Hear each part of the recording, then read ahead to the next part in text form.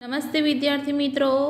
આગળના વિડીયોની અંદર આપણે પ્રકાશ સંશ્લેષણનો ઇતિહાસ જોયો. જુદા જુદા વૈજ્ઞાનિકો કેવી રીતે પ્રકાશ સંશ્લેષણની પ્રક્રિયાને શોધી, કેવી રીતે જુદા જુદા સમીકરણો જુદી જુદી વનસ્પતિ પર પ્રયોગો કર્યા અને આપણને પ્રકાશ સંશ્લેષણની પ્રક્રિયા ખરેખર વનસ્પતિઓમાં થાય છે એના વિશે આપણને સમજાવ્યું. હવે આપણે આજે પ્રકાશ સંશ્લેષણ ક્યાં થાય છે? પ્રકાશ સંશ્લેષણ ક્યાં થાય છે? એના વિશે અભ્યાસ કરીશું. તો તમને બધાને ખબર છે, પ્રકાશ સંશ્લેષણ હરિતકણ નામની અંગિકામાં થાય છે. તમે અહીંયા જોઈ શકો છો. હરિતકણ નામની અંગિકા જે ફક્ત અને ફક્ત વનસ્પતિ કોષમાં આવેલી હોય છે. જેનો અભ્યાસ તમે અગિયારમા ધોરણમાં, આઠમા ચેપ્ટરમાં કરી ચૂક્યા છો. તફાવત સાથે મેં તમને સમજાવેલું. સોરી અગિયારમા ધોરણમાં, આઠમા ચેપ્ટરમાં જ ઓલરેડી તમને સમજાવેલું છે. આકૃતિ દોરી અને આ અંગિકા મેં તમને સમજાવી હતી. આઈ હોપ કે તમને યાદ હશે. તમે અહીંયા જોઈ શકો છો. આ જે છે થાઇલેકોઇડ છે, એટલે કે આખાને એને કહેવામાં આવે છે ગ્રેના. બરાબર? ત્યાર પછી એ બંને ગ્રેના આંતરગ્રેનમ પટલથી જોડાયેલા હોય છે. સાથે સાથે આ જે છે, સ્ટાર્ચ કણિકાઓ છે, જેને કહેવાય મંડકણ. એની સાથે આવેલું છે રિબોઝોમ. આ જે છે એ રિબોઝોમ છે. સોરી આ જે છે નાના નાના મણકા જેવા તમને દેખાય છે, રિબોઝોમ છે. અને આ જે છે એ મેદબિંદુ છે, તમે આકૃતિમાં જોઈ શકો છો. બરાબર? અને આ જે થાઇલેકોઇડ એટલે કે ગ્રાના સિવાયનો જે આ વિસ્તાર છે, આ વિસ્તાર આ વિસ્તાર, આવો ખાલી અવકાશ. એ શું છે? સ્ટ્રોમા એટલે કે આધારક કહેવામાં આવે છે. અને હરિતકણ એ બેવડા પટલમય અંગિકા છે, તો એમાં બાહ્ય પટલ અને અંતઃપટલ તો હોય છે જ. તો તમને એવો પ્રશ્ન થશે કે આ હરિતકણ ક્યાં હોય છે? તો હું તમને સમજાવું. કે ખરેખર હરિતકણ ધારો કે આ પર્ણ છે, બરાબર? તમે પર્ણ જોયું હશે. એમાં અહીંયા વચ્ચેની બાજુ શું આવેલી હોય છે? મધ્ય પર્ણપેશી તો મધ્ય પ્રકાશ સંશ્લેષણ લીલી વનસ્પતિમાં થાય છે, પરંતુ લીલા ભાગોમાં થાય છે. એમાં પણ કયો ભાગ? પર્ણોને, પર્ણોની મધ્ય પર્ણપેશીમાં થાય છે. અને ત્યાં મધ્ય પર્ણની પેશીના કોષોમાં મોટી સંખ્યામાં હરિતકણો છે. એટલા માટે કે ધારો કે આ જે મધ્ય પર્ણપેશી છે, એ અહીંયા કોષો આવેલા છે. બરાબર? એ કોષને અહીંયા ઝૂમ કરીને હું દર્શાવું કે ધારો કે આ મધ્ય પર્ણપેશીના પેશીમાં આવેલો કોષ છે તો અહીંયા હરિતકણો અહીંયા અહીંયા અહીંયા. આવી રીતે પરિઘ વિસ્તારમાં હરિતકણો ગોઠવાયેલા હોય છે. તો એટલા માટે આ જે પ્રક્રિયા છે એ મધ્યપર્ણ પેશીમાં વધારે પડતી થાય છે. જોઈએ આપણે, તમને બુકમાં આપેલું છે. કે પ્રકરણ આઠમાં અભ્યાસ કર્યા પછી નિશ્ચિતપણે તમારો જવાબ હશે કે લીલા પર્ણોમાં અથવા તમે કહી શકશો કે હરિતકણોમાં તમે બિલકુલ સાચા છો કે પ્રકાશ સંશ્લેષણની ક્રિયા વનસ્પતિના લીલા પર્ણોમાં થાય છે. પરંતુ તે વનસ્પતિના અન્ય લીલા ભાગોમાં પણ થાય છે. નોટ નેસેસરી કે ફક્ત ને ફક્ત પર્ણમાં થાય છે. વનસ્પતિમાં જે પણ જગ્યાએ લીલો ભાગ છે, ત્યાં ત્યાં પ્રકાશ સંશ્લેષણની પ્રક્રિયા થાય છે. એક્ઝેક્ટલી તમને આપેલું છે કે પર્ણોની મધ્ય પર્ણપેશીના કોષો મોટી સંખ્યામાં હરિતકણો ધરાવે છે અને એટલા માટે સામાન્ય રીતે મધ્ય પર્ણ કોષોની કોષ દિવાલ નજીક હરિતકણો શ્રેણીબદ્ધ ગોઠવાયેલા હોય છે. મેં તમને અહીં આકૃતિ દોરીને સમજાવ્યું. જો કોષ દિવાલ છે, આ જે છે એ કોષ દિવાલ છે, એ કોષ દિવાલની નજીક જ ગોઠવાઈને હરિતકણો ગોઠવાયેલા હોય છે. રાઈટ જેથી તેઓ ઇષ્ટતમ એટલે કે વધારે માત્રામાં આપાત થતા પ્રકાશને મેળવી શકે છે. કોષ દિવાલની નજીક હોય એટલે વધારે પડતો પ્રકાશ એમને મળે અને જેથી કરીને પ્રકાશ સંશ્લેષણની પ્રક્રિયા બરાબર થઈ શકે. બરાબર? સમજણ પડી બધાને? ઓકે. કે તમને કહે છે કે પ્રકરણ આઠમાં હરિતકણની સંરચનાનો અભ્યાસ કર્યો. હરિતકણમાં એક પટલમય તંત્ર ધરાવતું ગ્રાના, આંતરગ્રેનમ પટલો, જેને કહેવાય સ્ટ્રોમાં લેમિલી અને તરલ આધારક એટલે કે ફ્લુઇડ સ્ટ્રોમાં હોય છે. તમને અહીંયા આકૃતિમાં દર્શાવેલું જ છે બધું, બરાબર? અને એમનું સુસ્પષ્ટ શ્રમ વિભાજન હોય છે, એટલે કે સ્ટ્રોમા અને આંતરગ્રેનમ પટલ, આધારક અને આંતરગ્રેનમ પટલ, બધાનું, ગ્રાના, બધાનું જ કાર્ય જુદું જુદું હોય છે. અને એ હરિતકણની અંદર બે પ્રકારની પ્રક્રિયા થાય છે, કયા બે પ્રકારની પ્રક્રિયા થાય છે? અને એ પ્રક્રિયાને કહેવામાં આવે છે બ્લેકમેન રિએક્શન.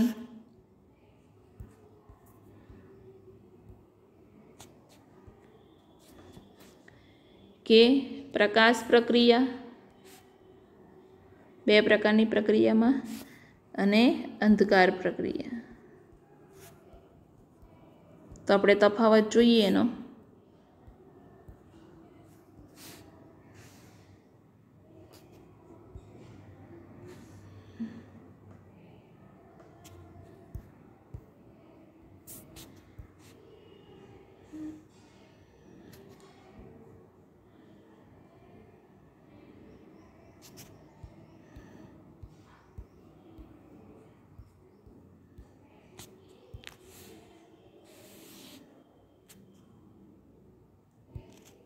ઓકે. હવે પ્રકાશ પ્રક્રિયાને પ્રકાશ પ્રક્રિયા કેમ કહેવામાં આવે છે? કેમ કે આ પ્રક્રિયામાં પ્રકાશની, આ પ્રક્રિયા પ્રકાશની હાજરીમાં થાય છે. અંધકાર પ્રક્રિયા પ્રકાશની ગેરહાજરીમાં થાય છે. બરાબર? બીજો પોઈન્ટ પ્રકાશ પ્રક્રિયામાં સીઓ ટુ અને શર્કરાનું નિર્માણ. ઉત્સેચકીય પ્રક્રિયાઓ દ્વારા થાય છે.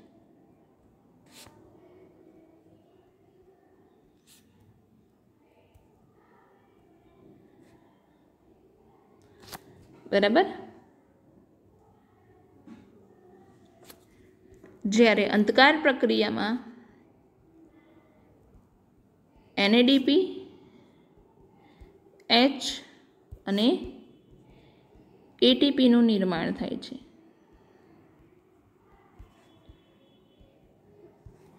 આ જે તફાવત છે એ તમારે યાદ રાખવાનો છે. ઓકે તો તમને અહીંયા આપેલું છે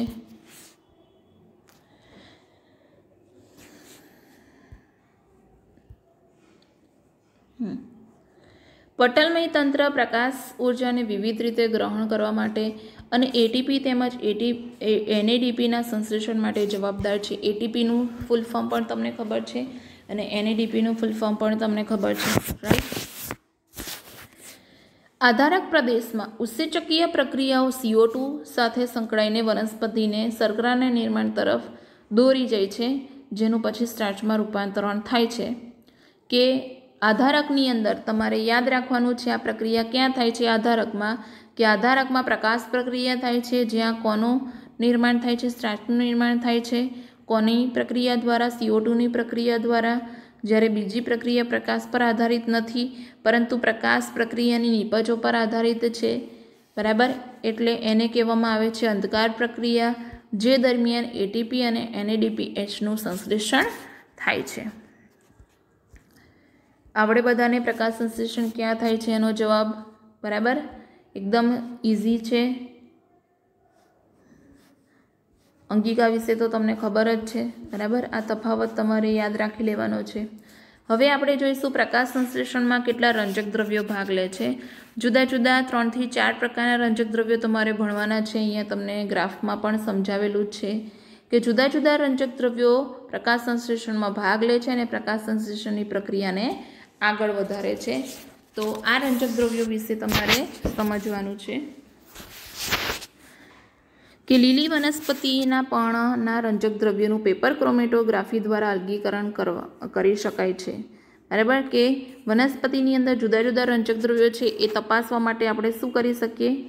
લીલી વનસ્પતિના પર્ણના રંજક દ્રવ્યોનું પેપર ક્રોમેટોગ્રાફી દ્વારા અલગીકરણ કરી શકીએ. એ એક પ્રેક્ટિકલ છે જે થોડો કોમ્પ્લિકેટેડ છે. અત્યારે સમજાવવો સરળ નથી, પરંતુ શોર્ટમાં હું તમને કહું તો લીલા પાંદડાવાળી જે સબ્જી હોય છે અથવા તો વનસ્પતિ હોય છે, એમને લેવાની. લીલા પાંદડાને થોડા બોઇલ કરવાના, ત્યાર પછી એને ખલ દસ્તાથી ક્રશ કરવાના. ત્યાર પછી એમને સુતરાઉ કોટનના કપડાથી ગાળી લેવાના અને જે પણ ગાળાના આપણને મળે છે એને એક પાત્રમાં ભરી, એની અંદર એસ્ટર નાખી અને એમાં પેપર ક્રોમેટોગ્રાફી પેપર લટકાવવામાં આવે છે અને થોડા ટાઈમ પછી જ્યારે એને આપણે પ્રકાશમાં રાખીએ છીએ ત્યારે એમાં પેપર ક્રોમેટોગ્રાફી પર જુદા જુદા કલરના ટપકા જોવા મળે છે. ધેટ મીન્સ કે જે પણ ટપકા હશે એ ટપકા શું સૂચવે છે? રંજક દ્રવ્યોની હાજરી. જે વનસ્પતિમાં રંજક દ્રવ્યો છે, એ રંજક દ્રવ્યોની હાજરી સૂચવે છે. આ થોડી લાંબી પ્રોસેસ છે, પણ મેં તમને અહીંયા શોર્ટમાં સમજાય તો પર્ણમાં આવેલા રંજક દ્રવ્યોનું ક્રોમેટોગ્રાફિક અલગીકરણ દર્શાવે છે કે પર્ણનો રંગ કોઈ એક રંજક દ્રવ્યને કારણે નહીં, પરંતુ ચાર પ્રકારના રંજક દ્રવ્યોને કારણે હોય છે.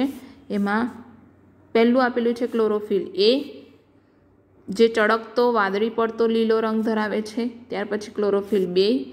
જે પીળાશ પડતો લીલો રંગ ધરાવે છે ઇનશોર્ટ ક્લોરોફિલ એ અને ક્લોરોફિલ બી બંને કેવો રંગ ધરાવે છે? લીલો રંગ ધરાવે છે. ત્યાર પછી ઝેન્થોફિલ જે પીળો રંગ ધરાવે છે. ત્યાર પછી કેરોટિનોઇડ્સ જે પીળાથી નારંગી રંગ ધરાવે છે. બરાબર? તો જુદા જુદા પ્રકારના રંજક દ્રવ્ય જુદો જુદો રંગ ધરાવે છે. ઇવન સૂર્યપ્રકાશમાંથી તરંગ લંબાઈનું શોષણ પણ જુદી જુદી તરંગ લંબાઈનું શોષણ કરતા હોય છે. કોઈ ચારસો પચાસ નેનોમીટર તરંગ લંબાઈનું શોષણ કરતા હોય છે. કોઈ છસો પચાસ નેનોમીટર તરંગ લંબાઈનું શોષણ કરતા હોય છે. કોઈ સાતસો નેનોમીટર તરંગ લંબાઈનું શોષણ કરતા હોય છે. તો જુદા જુદા રંજક દ્રવ્યો જુદી જુદી તરંગ લંબાઈનું શોષણ કરતા હોય છે અને પ્રકાશ સંશ્લેષણની પ્રક્રિયા કરતા હોય છે. રંજક દ્રવ્યો એવા પદાર્થો છે કે જેઓ પ્રકાશની ચોક્કસ તરંગલંબાઈનું શોષણ કરવાની ક્ષમતા ધરાવે છે. મેં તમને પહેલાં જ કહ્યું કે સૌથી વધારે તરંગલંબાઈ વિશ્વમાં સૌથી પ્રભાવી રંજક દ્રવ્ય કયું છે? તો આપણે ક્લોરોફિલ એ રંજક દ્રવ્યની પ્રકાશની વિવિધ તરંગલંબાઈનું શોષણ કરવાની ક્ષમતા ધરાવતા આલેખનો અભ્યાસ કરીએ. તો આમાં જાનીવાલી પીનાલા તરીકે પ્રકાશના દ્રશ્ય વર્ણપટની તરંગલંબાઈથી પરિચિત છો જ તમે, રાઈટ? બે ધનુષ્ય જેને કહેવાય, જાંબલી, નીલો વાદળી, લીલો, પીળો, નારંગી અને લાલ. તો એને રિલેટેડ તમે કહી શકો બીજું કે ક્લોરોફિલ એ કઈ તરંગલંબાઈનું સૌથી વધુ શોષણ કરે છે? બરાબર? જુદા જુદા પ્રશ્નો છે જે આપણા મનમાં ઉદ્ભવે છે. તમને અહીંયા આપેલું છે કે શોષણ પામેલ પ્રકાશ અને રંજક દ્રવ્યોનો ગ્રાફ આપેલો છે. એમાં તમે જુઓ, જે એ ગ્રાફ છે એ જુદા જુદા રંજક દ્રવ્યોનું શોષણ રંગક્રમ પ્રદર્શિત કરતો આલેખ છે કે ક્લોરોફિલ એ જે બ્લુ કલરથી દર્શાવેલો છે, બરાબર? એમાં શરૂઆતમાં વધારે પડતી તરંગલંબાઈનું શોષણ થાય છે ક્લોરોફિલ બી, એનું શોષણ વધારે થાય છે ક્લોરોફિલ એ કરતાં, અને કેરોટીનોઇડ જે છે શરૂઆતમાં એની તરંગલંબાઈ ઓછી શોષિત થાય છે અને ત્યાર પછી એ વધી જાય છે. એના પછી બી ગ્રાફ જે છે એ પ્રકાશ સંશ્લેષણની ક્રિયા કરતો ગ્રાફ છે કે મુક્ત થતા ઓટુ દ્વારા માપન, કે પ્રકાશ સંશ્લેષણની પ્રક્રિયાને પરિણામે ઓક્સિજન મુક્ત થાય છે.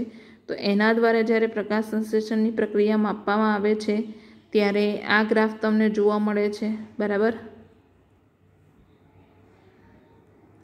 તો એ તમને દેખાય છે બ્લેક કલરનો ગ્રાફ. તમે અહીંયા જોઈ શકો છો.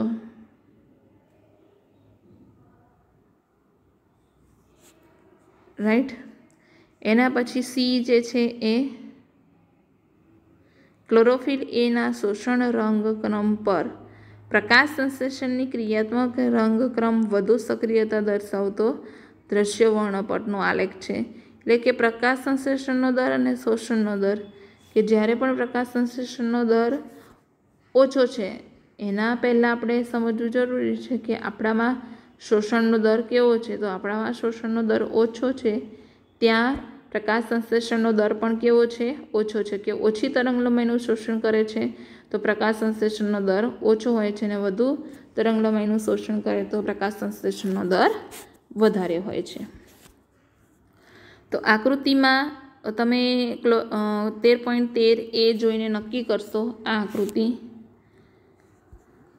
કે ક્લોરોફિલ એ કઈ તરંગલંબાઈનું શોષણ સૌથી વધુ કરી શકશે? બરાબર? તમે જોઈ શકો છો શૃંગ અને ગર્ત.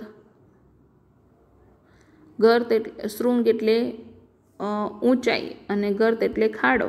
બરાબર? અને તમે શૃંગ કહી શકો. અને ગર્ત કહી શકો. તો રંજક દ્રવ્યો એવા પદાર્થો છે જેઓ પ્રકાશની ચોક્કસ તરંગલંબાઈ શોષણ કરવાની ક્ષમતા ધરાવે છે. શું તમે અનુમાન કરી શકો છો વિશ્વમાં સૌથી પ્રભાવી જ રંજક દ્રવ્ય કયું છે? ત્યાર પછી આકૃતિ બી જુઓ કે કોઈ તરંગલંબાઈએ મહત્તમ પ્રકાશ સંશ્લેષણ થાય છે. બી આકૃતિની અંદર. તો કઈ તરંગલંબાઈ?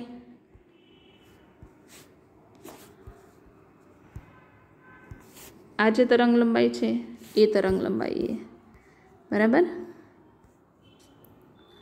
એટલે કે ક્લોરોફિલ એ વાદળી અને લાલ રંગની તરંગલંબાઈનું વધુ શોષણ કરે છે, જે પ્રકાશ સંશ્લેષણનો ઊંચો દર દર્શાવે છે. અંડરલાઈન કરી દો.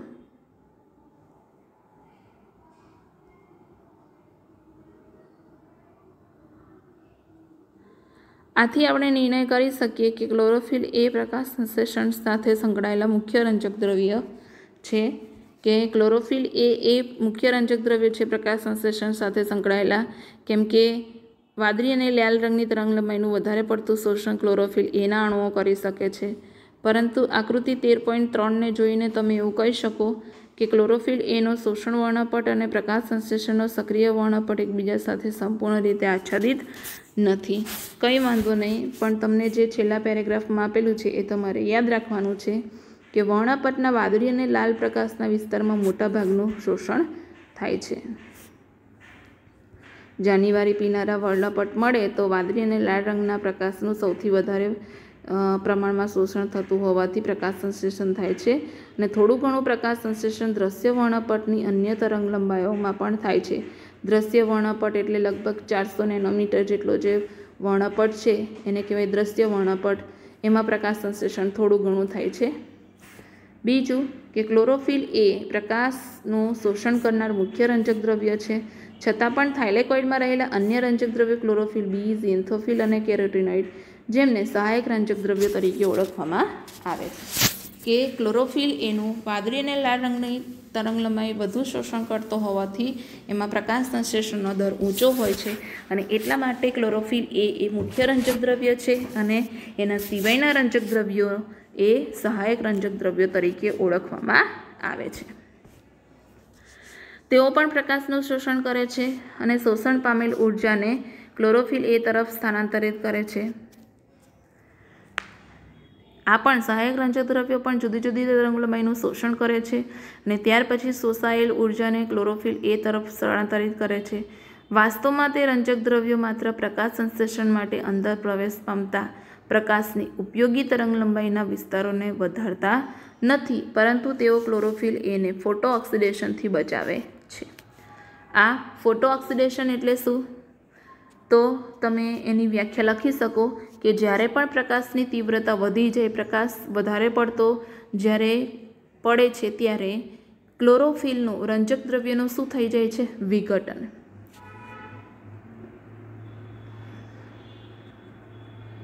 ક્લોરોફિલનું વિઘટન વધુ પ્રકાશની હાજરીમાં ક્લોરોફિલનું વિઘટન. એને શું કહેવામાં આવે છે? ફોટો ઓક્સિડેશન બરાબર? એ ફોટો ઓક્સિડેશન તમારે છેલ્લા આવશે પ્રકાશ સંશ્લેષણ પર અસર કરતા પરિબળોની અંદર આવશે, ત્યારે પણ આપણે ડિટેલમાં જોઈશું. ઓકે? તો આ થઈ ગઈ પ્રકાશ સંશ્લેષણમાં જરૂરી રંજક દ્રવ્યો. જે રંજક દ્રવ્યો ભાગ લે છે તે તેમની આપણે આલેખ સહિત વાત કરી. બરાબર? કે શોષણ પામેલ પ્રકાશનો આલેખ, મુક્ત થતા ઓક્સિજનનો આલેખ, કે પ્રકાશ સંશ્લેષણના દર પર અસર કરતી જે તરંગ લંબાઈઓ છે શોષણ કરેલી તરંગ લંબાઈઓ એનો આલેખ. એવા જુદા જુદા આલેખ જોયા આપણે. અને આ સાથે આપણું આ લેક્ચર પૂરું થાય છે, આ વીડિયો પૂરો થાય છે. નેક્સ્ટ લેક્ચરની અંદર આપણે પ્રકાશ પ્રક્રિયા શું છે? પ્રકાશ પ્રક્રિયા એટલે શું? અને ઇલેક્ટ્રોન પરિવહન તંત્ર, જેમાં આપણે ચક્રીય અને અચક્રીય ફોટોફોસ્ફોરાઇલેશન જોવાનું છે, એના વિશેની આપણે ચર્ચા કરીશું. તો આઈ હોપ કે તમને આજના વિડીયોમાં ખબર પડી હશે. આજે આપણે બે ક્વેશ્ચન ભણ્યા. પ્રકાશ સંશ્લેષણ ક્યાં થાય છે તે અને પ્રકાશ સંશ્લેષણમાં કેટલા રંજક દ્રવ્યો ભાગ લે છે એ એના વિશેની આપણે ચર્ચા કરી. નેક્સ્ટ લેક્ચરની અંદર આપણે પ્રકાશ પ્રક્રિયા વિશે અભ્યાસ કરીશું.